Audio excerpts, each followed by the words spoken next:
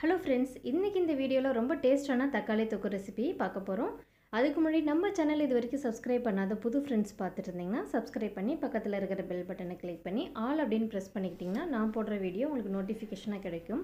இப்போ இந்த ரெசிபி செய்கிறதுக்கு ஒரு பத்து தக்காளி பழங்களை நல்லா க்ளீன் பண்ணி எடுத்துக்கிட்டேன். அதுபோல் ஒரு சின்ன லெமன் சைஸ் அளவுக்கு புளியை வந்து ஒரு ரெண்டு மூணு தண்ணியில் நல்லா வாஷ் பண்ணிக்கலாம். அந்த ஓடெல்லாம் இல்லாத மாதிரி இருந்துச்சுன்னா நம்ம தக்காளி கூடவே சேர்த்து அரைச்சிக்கலாம். ஈஸியாக இருக்கும். தக்காளியை கட் பண்ணி மிக்ஸி ஜாருக்கு மாற்றிருக்கேன் இது கூடவே புளியும் சேர்த்துட்டு நல்லா அரைச்சி எடுத்துக்கலாம். ரொம்ப நைஸாக அரைக்க தேவையில்லை. அப்புறமா கடாயை ஹீட் பண்ணிவிட்டு நல்லெண்ணெய் சேர்த்துக்கோங்க. நல்லெண்ணெயில் செய்கிறது ரொம்ப நல்லது. கொஞ்சம் எண்ணெய் அதிகமாக சேர்த்துக்கலாம்.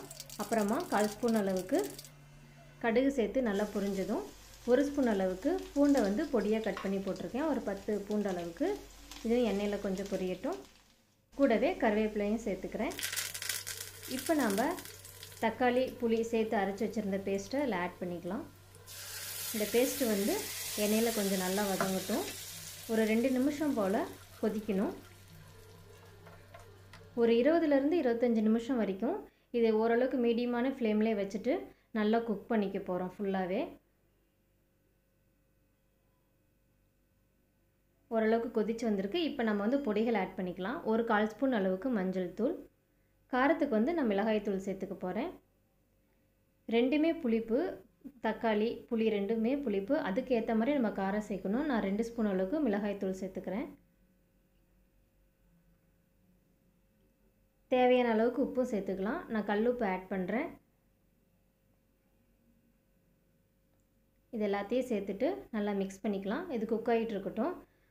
ஒரு மூடி போட்டு வச்சு அப்பப்போ ஒரு ரெண்டு நிமிஷத்துக்கு ஒருக்கா இதை கலந்து விட்டுட்டே இருக்கலாம். ஃபுல்லாக க்ளோஸ் ஆகிற மாதிரி மூட வேண்டாம். ஏன்னா இது நல்லா எண்ணெய் பிரிஞ்சற வர அளவுக்கு நல்லா சுருண்டு வதங்கணும். ஃபுல்லாக கவர் ஆகிற மாதிரி மூடாமல் கொஞ்சம் லேசாக திறந்து வச்ச மாதிரி மூடி வச்சுட்டு அப்பப்போ இந்த மாதிரி கலந்து விட்டுட்டே இருங்க.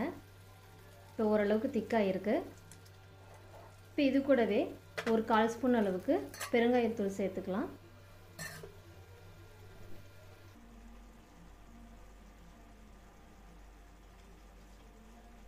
நல்லா கலந்து விட்டுட்டு இன்னும் ஒரு ரெண்டு நிமிஷம் இது கொதிக்கட்டும். இந்த ரெசிபி வந்து பார்த்திங்கன்னா ரொம்ப டேஸ்ட்டாக இருக்கும். ஒரு மாதத்துலேருந்து ஆறு மாதம் வரைக்கும் நம்ம ஸ்டோர் பண்ணிக்க முடியும். சாதத்துக்கும் நல்லாயிருக்கும் தொட்டு சாப்பிட ஊறுகாய் போல் நல்லா சுருளை வதக்கி இறக்கிட்டோம் அப்படின்னா ஊறுகாய் மாதிரியும் வச்சுக்கலாம். இந்த மாதிரி தொக்கு மாதிரியும் எடுத்துக்கிட்டிங்கன்னா சப்பாத்தி பூரி தோசை எல்லாத்துக்கும் நல்லாயிருக்கும் இப்போ இதில் ஒரு கால் ஸ்பூன் அளவுக்கு வறுத்து பொடித்த வெந்தய பொடி சேர்த்துருக்கேன். நல்லா மிக்ஸ் பண்ணி விட்டுட்டு இன்னும் கொஞ்சம் நல்லா எண்ணெய் பிரிஞ்சிற அளவுக்கு குக் பண்ணிட்டோம் அப்படின்னா ரெடி ஆகிடும் இது வந்து டிஃபனுக்கும் ரொம்ப நல்லாயிருக்கும். சப்பாத்தி பூரி தோசை அது கூடவும் நல்லாயிருக்கும். சாதத்துக்கும் தொட்டு சாப்பிட ரொம்ப நல்லாயிருக்கும். ரொம்ப ஈஸியாகவும் ரெடி பண்ணிடலாம். தக்காளி நமக்கு வந்து கிடைக்கிற நேரங்களில் இந்த மாதிரி செஞ்சு வச்சுக்கோங்க. ரொம்ப சூப்பராக இருக்கும். நீங்களும் வீட்டில் ட்ரை பண்ணி பாருங்கள் தேங்க்யூ ஃபார் வாட்சிங்